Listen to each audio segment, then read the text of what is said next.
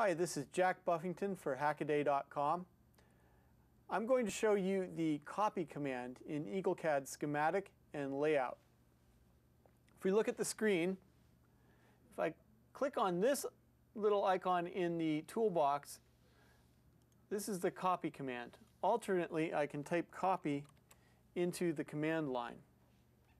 Let's say I wanted another, another copy of this capacitor that is attached to this schematic.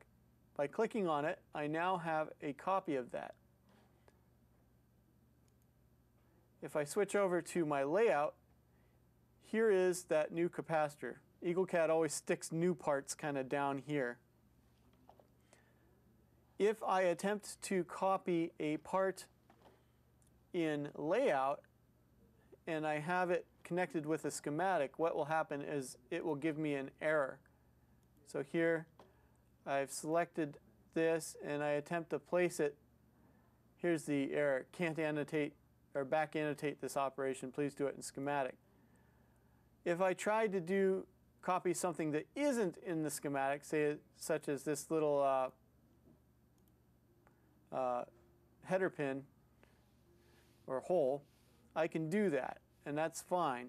But uh, if I have linked up to a schematic, I can't copy things over here. That was the copy command for EagleCAD schematic and layout. This is Jack Buffington for Hackaday.com.